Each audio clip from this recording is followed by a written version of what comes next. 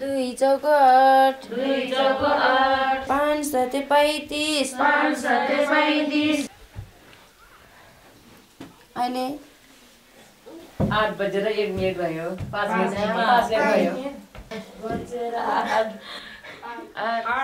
एउटाले भन्नु फेरि वाति भएन यार हाल्छ उनीहरू धेरै जान्ने भएको छ अनि धेरै जान्ने बेलामा चाहिँ म एकदम खुसी लाग्छ कि।